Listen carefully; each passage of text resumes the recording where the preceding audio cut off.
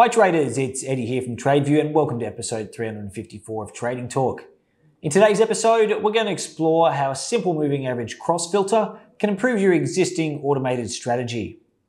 We'll walk you through how this adjustment works and how it can change the outcome of your strategies, leading to more consistent results in your automated trading. Sometimes even a small change like this can make a significant difference over time. With less than two months to go till this year's Algo Trading Conference, things are really starting to heat up here on our trading desk. Josh's HFT model and Chris's mean reversion model have both been running on multiple instruments with some impressive results. Believe me, you want to be at the conference so that you can see the models in full detail. I'll also put out some videos together explaining what you'll be getting with my model, so head over to tradeview.com.au to take a look. If you haven't done so already, make sure that you purchase the full Trading Talk series to enjoy this week's episode inside the TradeViewX platform. And until next time, all the best with your trading.